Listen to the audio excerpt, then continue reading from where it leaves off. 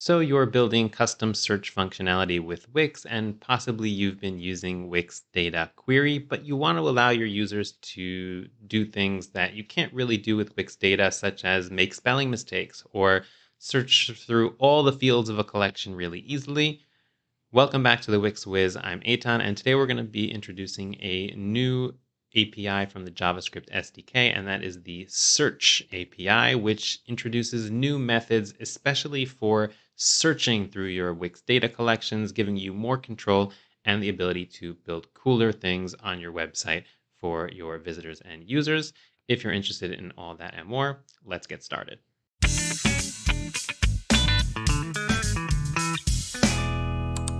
For today's tutorial, we are starting off in a blank Wix Studio website, but don't worry, everything that I'm showing you here today should be possible inside of Wix Classic as well. The only thing I've done so far is I've added in a new CMS collection right over here. And this is a collection of fruits with different metadata about those fruits, all AI generated. And what we're going to be doing is we are going to be searching this collection using the new Search API. Uh, this is the API that I am talking about. It is released in the JavaScript SDK as of, I think, a few weeks ago, if I'm not mistaken. And I've been reading through it. It's still a little vague because it's in developer preview. But to my understanding, this is a special API that is supposed to make searching a collection a little easier. What could be easier about searching a collection because we could already do a Wix data query. So we can run a query on a collection and search by different filters if a certain field is equal to something or not equal to something. So a few interesting things that I've noticed about this API.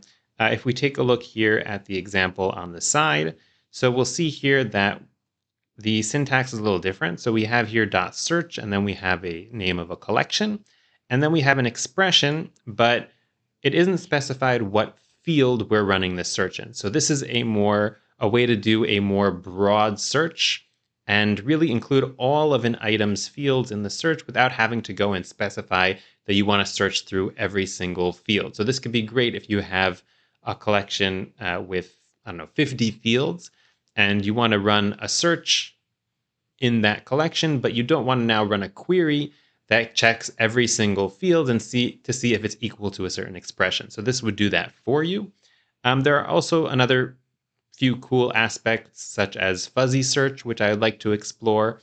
And I don't recall where I saw it exactly, but I have a feeling that this might be linked to new semantic search capabilities that Wix is introducing to some of its applications.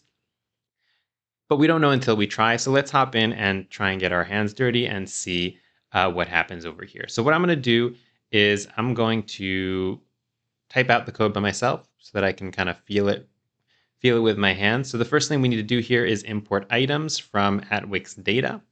Uh, so let's go ahead and do that. Just just the import the import statement I am going to copy because that's something I don't want to make a mistake with. So I'm going to go over here and uh, if you haven't done so yet on your site, you're going to want to go ahead and turn on dev mode. That's going to be over here on the bottom left. Uh, I'm just going to go click Start Coding. If you happen to be in Wix Classic, it's kind of going to be on the upper left. You'll see it'll say Dev Mode.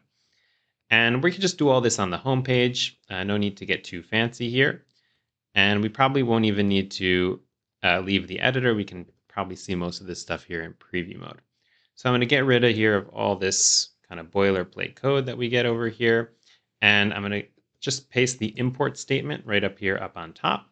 And the first thing we'll need to do is install this package. So this is one of the differences between uh, the SDK and Velo. Uh, I don't think that this endpoint is currently available in Velo. Uh, as Wix said, they're really only releasing things now to the SDK. I'm going to go ahead and hit install, and that's going to install in the background. Uh, in the meantime, let's go ahead and start to write the code uh, to run a search. What I'm going to do just to make things a little easier for myself is I'm going to add in a button here uh, that's just going to act as our search button uh, that we can use to just fire off a function that will run search that we can, let's say, do it multiple times and stuff like that. So I'm just going to write here search, and I'm going to name this button uh, right over here. This is going to be our search button. And now we're ready to create our function over here. So this is going to be an asynchronous function.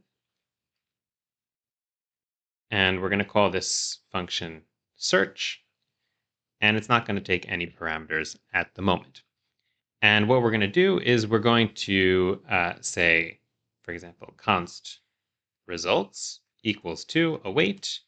And here we're going to have items dot, and we're going to have our search over here. Okay, but let's see exactly what the syntax is. So items, and then dot search, and we need to have the name of the collection. So let's go over here, and I'm going to put it in a new line, just like they do in the documentation, just so that it's extra clear. And here we're going to have the name of the collection, which is fruits. Uh, if you're not sure what the name of your collection is, uh, you can always go over here and look for databases. And then here you can see in parentheses you have fruits. You can even go ahead and copy it right over there like that. So it's the collection ID. Don't get confused with the collection name. So that's what we have over here. And the next thing we're going to want to do is we're going to want to search for the expression. So uh, here you kind of have to know what you're looking for uh, or what could possibly be uh, kind of in the uh, collection. Let me just see here and open it up for a second and see what expression uh, could be good for us. So we have apple here. Yeah, I don't know if there's, we could try and search for fruit. I think that would probably return all of them. Uh, let's see here. Yeah, I'm trying to think if we have any any keywords that might return more than one fruit. Snack flavor. Okay, so the word flavor, let's say. Okay, that I see it appears here twice. So let's use that as our initial expression that we're looking for. So here we're going to have here dot expression, just like that. And initially we're going to search for flavor. And the last thing that we're going to do over here, if I'm not mistaken, is run. So let's go over here and yeah, we could we could also limit if we want, but that's nothing special here to the search um, to the search API that's also part of Wix query. So we're just going to do the dot run and that should be that. So let's go over here and we'll do dot run. And I'm going to add a console log, console.log, so that we can log our results. Okay, and uh, last but not least, let's go ahead and add in the code so that we run this search function whenever we click the search button. So I'm just going to write here search button dot on click not on blur, on click, and uh, we're going to run our search just like that. Okay, it's looking good. Uh, so let's go ahead and I'm going to just head over here into preview mode. Uh, you could also publish your site to test it out, but I'm just going to go into preview mode for now. And I'm going to go ahead and click this search button once it becomes available. There we go. And here you can see in the developer console, we got back the results. So there's a lot of interesting metadata over here. I'm very curious what this is. Um, but this is what really concerns us, the items over here. So we got two items back. Uh, we got back mango, which has uh, flavor in it over here in the famous quote, king of fruits and flavor. And we got back pineapple, uh, which has, uh, yeah, tropical treasure of flavor. Okay, so those are the two results that came back. So it's uh, it's an exact match. I'm not sure if it's case sensitive or not. It probably says in the documentation, but this was an, a really relatively easy way for us to search all of the fields without. So I didn't specify that I'm looking in the quote field, let's say, or looking at the fruit name field or anything like that.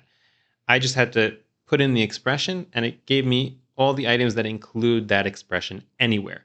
So this is already a much quicker way to search even without any of the additional cool filters that we're going to take a look at right now.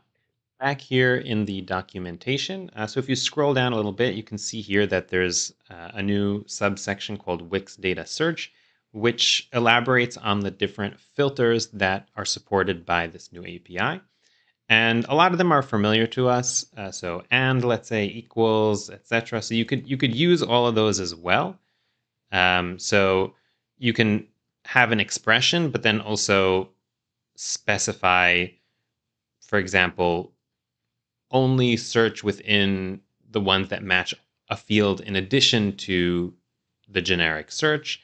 Um, so it would it would give you for let's let's use this example that Wix has here. So this would be it would give you back only items where the category field matches electronics. And within those, any of the other fields include the word premium, then it would return them. So it's kind of like specific in one field and generic in all the rest. So it's it's kind of like a mix and match, but we're we're generally familiar with those uh, different uh, filters. There are a few filters here that are new and unique. Uh, one of them here is AND mode. Uh, so when in this mode, an item must include all the specified search terms. So for example, if the expression is red car, uh, in AND mode, uh, this only retrieves items that include both red and car.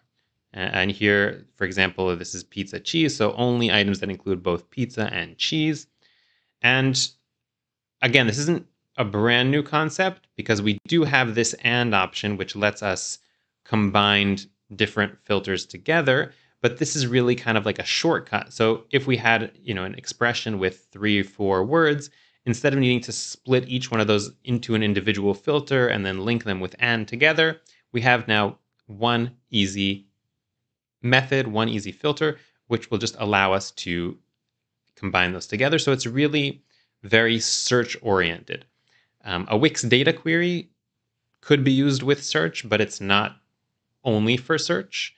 Uh, and this is really some an API that's built with search in mind. So this um, is why it has these unique methods uh, and it has a similar one also for OR. So if we go over here and look here, so we have also OR mode. Um, and let's go ahead and try this one out. So this would allow us to find expressions um, if they match to find items if they match any of the words in the expression. So for example, here, if we have red car, if it has either red or car, then it should come back. So let's see what that would look like here in our uh, in our search. So here we could have, let's say, um, apple flavor. Instead of just apple, we'll look for apple flavor. And uh, I'll add in over here dot or mode. And then, uh, whoops, sorry, don't add a semicolon there. Uh, if we go back into preview mode, like just like that, and now we run the search, so it should come back with apples in addition to the uh, pineapple and mango, I think it was last time. Let's see here. So if we take a look here at the items, now we have three items. So we have here apple because that matched the apple option. And uh, we have also mango and we have pineapple just like before. Okay, and if we were to use here and mode, then I don't think we would get anything back because no items have both apple and flavor. So that's an example of what the OR mode would look like. And uh, if we go back here, there's one more one that I want to take a look at that looks interesting, and that is this fuzzy. Um, so fuzzy method enables fuzzy search. This allows for approximate matches that closely resemble the search expression even if they don't exactly match. So I don't think that this is the semantic search uh, just yet. I think this probably means like if there's a spelling mistake. So let's try and see if that uh, if that works. So let's go over here, and uh, instead of apple flavor, I'll just uh, have apple with one p. So let's say I misspelled apple, and I'm going to switch this out to be fuzzy. Okay, and this hopefully will return the Apple item, even though it doesn't technically have these this specific expression anywhere there. It has something similar, which is the actual word Apple. Um, so let's go ahead and preview that. And I'm just going to go and hit that search. And let's see what we came back with. So here, items. So we have one in the array, and it came back with Apple. Okay, even though there's no express, there's no actual expression APLE, and this would not have been possible at all with Wix data query. So this, I think, is the most proprietary um, out of the different methods that I've seen here so far in the search. Uh, in the sense that it can really solve a problem where if somebody has a spelling mistake, they can still technically find something. It is a little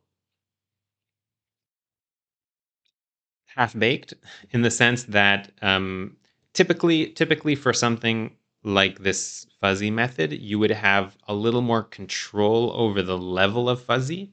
So you'd be able to say, you know, it, it will match if there's one mistake or two mistakes or like how similar they need to be. Um, for example, let's try uh, let's try and alter this so it just has let's say APL. Okay, so not so it's just this is already two letters away from what it technically should be. And let's see if it still finds that uh, APL. So let's go over here and I'm going to hit that search items. So now it didn't come back with anything. Okay, so I guess it can it has a certain level of fuzziness that we can't really control, uh, and it seems to be a fuzziness of I'm gonna like I want to say one, but I'm not sure that's actually the professional term for how to measure fuzziness. Um, so yeah, so but at least if you're pretty close, if you're if you're off by like one letter, then it should uh, still find, and that is uh, pretty interesting. That's I think pretty much what we have here in terms of the new search. All the other stuff uh, is seems to be stuff that we've seen previously. This is the expression that we've been using. Um, yeah, so that seems to be everything that we have here inside of the Wix data search. I think it's a really cool concept. Uh, it can definitely save a lot of time when you're building uh, certain search uh, capabilities into your application. Uh, it is quite broad though. So just for example, this expression search it searches all fields, that might not be something that you want. Uh, sometimes you want like a middle ground where it's searching some fields and not other fields. So I think that, again, it could be it's still in development. What I would ideally want to see in, in, my, in my dreams uh, is that you have a lot more control. Uh, so, for example, if you just search for an expression without specifying, then you can search in all the fields, but then if you want to specify, you can also like, let's say pass in an array with all the fields that you wanted to search in or something like that. Um, or exclude. Um, again, might be possible, but I don't see here anything that's a filter that I'm not familiar with that could possibly be used for that. Um, so if you know otherwise, let me know in the comment below. If you've found this API already and you've started using it uh, and playing around with it, uh, let me know your thoughts. Uh, but I think I'll wrap up here. That's all I really wanted to share with you today. I think it's a new, cool addition to the uh, Wix data uh, APIs. And if you enjoyed this tutorial, uh, don't forget to give me a thumbs up and subscribe to the channel if you want to see more videos like this every week. And I will see you next time.